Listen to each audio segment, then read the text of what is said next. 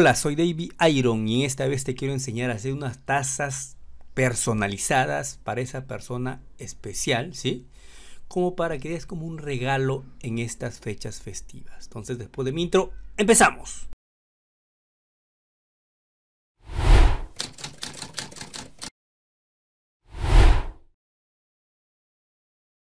Se acerca la Navidad y por qué no regalar este detalle a esa persona especial, ¿no? Con su letra inicial y con detalles de Navidad. Entonces vamos a empezar a hacer esta taza. De hecho, yo tengo este gnomo de Navidad, lo he vectorizado, pero también, de hecho, te puede servir los famosos PNGs, que son las mapas sin fondo, ¿no? Si tienes de Papá Noel, un reno, eh, algún Frozen que sea elemento de Navidad, nos puede servir. ¿ah? Así que no necesariamente tiene que ser un vector. Con tal que sea algo de buena calidad, creo que vale, ¿no? Entonces, para mí, voy a empezar con este gnomo. De la taza que te hablo, es de esta taza, ¿no? Esta taza blanca, donde cual se sublima. Vamos a hacer el diseño para mandarlo a sublimar y ese va a ser nuestro regalo a esa persona especial. El área de trabajo, de hecho voy a hacer un rectángulo, sí, voy a hacer un rectángulo cualquier tamaño, no te preocupes, ¿ya? No selecciono nada, no vas a seleccionar nada, ¿sí? Vas a darle acá centímetros, ¿ya? Y aquí recién seleccionas el área de trabajo, que hemos hecho un rectángulo a cualquier medida, porque recién vamos a la medida, aquí sería 20 por 9, ¿ya? Entonces sería 20 por 9, sería la medida del área de trabajo para nuestra taza, ¿ya? Más o menos la idea sería así, ¿no? Esta taza va aquí, lo cual va a ir sublimado de esta manera. así, ¿no? Ahí. Claro, va a girar, ¿verdad? Eso, esa es la, medida que queremos, miren. ¿Ya? Ya está. Entonces continuamos. Esto lo dejamos a un costadito esta taza. Y hacemos, pues, ¿no? Por ejemplo, eh, si tu persona especial eh, es con una letra, por ejemplo, yo voy a poner con la letra P, ¿sí? La letra P. Aquí voy a buscar una fuente. De hecho, voy a dibujar una fuente normalita el SWI 729, que sería lo ideal para mí, lo voy a colocar aquí. Voy a ponerlo rojo. ¿Ya? Espérate, rojo. Ya está, ahora sí. Vamos a ponerlo rojo. A este eh, gnomo lo voy a colocar a un costadito, ¿ya? Miren, así chiquito nomás. Es como un, un, detalle. Aquí lo que debe, se puede decir, imponer es la letra P. ¿Ya? Ya que es el detalle. A este lo voy a colocar ahí. Ahora voy a recurrir a elementos ya eh, posiblemente buscados para, se puede decir, eh, tener más rapidez, ¿no? Porque si vectorizamos vamos a demorar más, pero sabiendo que en Internet hay miles de elementos que ya nos pueden facilitar, creo que, ¿por qué no una manito, no? Entonces, miren, acá tenemos, por ejemplo, este, este campana. Estos links los voy a dejar en la descripción del video. También tengo este, mira, esta otra campanita que está muy bonito y también tengo este fondo rojo de hecho lo utilicé así mira así lo busqué como fondo brillo rojo. De hecho todos están en la en la web. Simplemente son elementos para facilitar el trabajo no son elementos también de detalle ¿por qué no? ¿no? Podemos copiar y aquí le pegamos ya este de aquí va a ir dentro de un power click está bien miren lo selecciono le digo anti click le digo dentro power click y lo pongo dentro.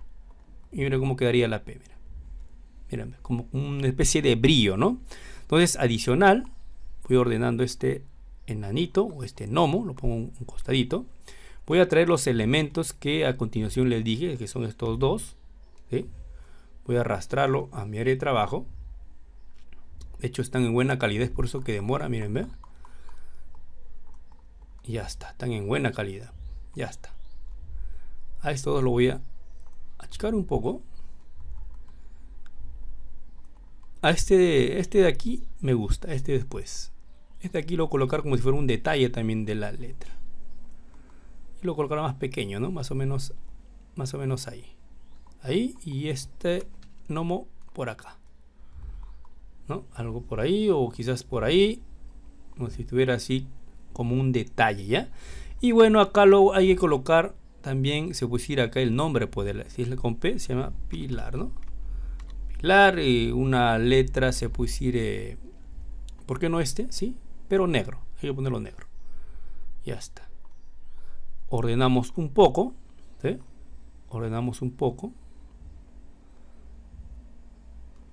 Y ese sería un lado de la taza, ¿no? Que se vería más o menos, a ver, ¿cómo se vería? Ahí, miren, ¿cómo se vería? ¿Ves? Ese sería un lado. Pero vamos a hacer ahora el otro lado, ¿no? El otro lado simplemente hay que ponerlo eh, Feliz Navidad. ¿sí? A ver. Feliz Navidad. De hecho son fuentes eh, corridas que voy a utilizar. ¿sí? Feliz Navidad. Eh, voy a hacer un control K para separar. Control K. Y mira cómo lo separé, ¿ves?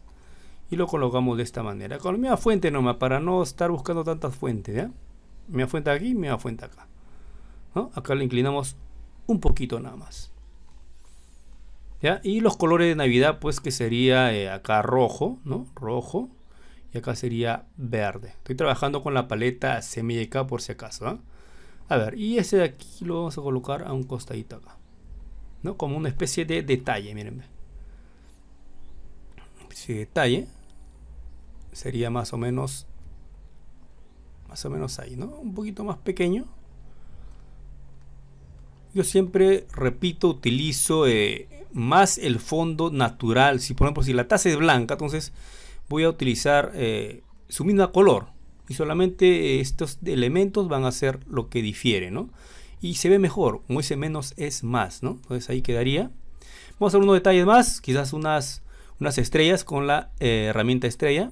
Control apretado, ¿sí? Acá simplemente con la herramienta forma introduzco para el medio y lo coloco el color amarillo, ¿ya? Por amarillo vamos a dar unos detallitos, por ejemplo este este lo voy a colocar, por ejemplo, ¿por qué no? Acá, otro acá y otro, por ejemplo, por acá, ¿no? Luego por ahí, como, como simples detalles, ¿ya? Ya, ahí creo que está bien, ¿no? Y también lo vamos a colocar aquí en, el, en esta Navidad, ¿no? Por ejemplo, por aquí, por aquí, ¿no? Por aquí. Creo que ahí es suficiente. Miren, entonces, eh, esta taza ya está listo para, eh, para que tú lo imprimas. De hecho, eh, vamos a ver cómo quedaría, ¿no? Más o menos lo que yo quiero expresar, cómo quedaría mi taza, ¿no? ¿Verdad? Si fuera en este lado, quedaría más o menos ahí. Miren, ¿ve? Y si fuera de este lado, quedaría más o menos ahí, ¿ya? Miren, ¿ve? ¿No? Entonces sería cara contra, como quedaría mi taza, pero yo te reto a que tú hagas también tus propios letras. Por ejemplo, si no es la P la, esa persona especial, ¿no? Puede ser otra. Por ejemplo, tú sigues jugando, pues, ¿no? Por ejemplo, acá ya no sería la, eh, la P, ¿no? Sería, si podemos llamar Antoine o no sé, un nombre que tú supuestamente pienses que es, ¿no? Ahí está, miren, ¿no? Entonces ordenas este muñequito para este lado, posiblemente está al medio, ¿no? Este estrella, ¿por qué no por acá? Y este por aquí, ¿no? Ahí está, miren. Y aquí lo pones Antoine, ¿no? Su nombre. Este vamos a hacer con mayúscula Antoine, ¿verdad? Ahí está bien. Y centras acá. ¿No? Si sería, por ejemplo, de, ¿por qué también podemos regalar también a, los hombres, nosotros mismos, ¿sabes? Si tenemos unas parejas, si tú eres mujer, ¿no? ¿Por qué no pones acá eh, Brandon? ¿Por qué no? Brandon. Miren, ¿ve? Brandon. Acá simplemente mueves un poco, un costadito, este quizás lo pones por este lado, ¿no? Depende ya de ti en dónde lo quieres poner el gnomo. Y acá lo colocas Brandon, pues, ¿no? Brandon. Ahí está, miren. ¿No? Mírenme. Entonces, eh, amigos míos, yo te reto, te reto a que tú hagas tu propia taza personalizada con la letra que te gusta, la fuente que también te gusta, porque te digo, es simplemente una maqueta, tú puedes tirar la fuente que a ti se te antoje, ¿ya? Y más o menos la idea es que quede de esta manera, miren, ¿no?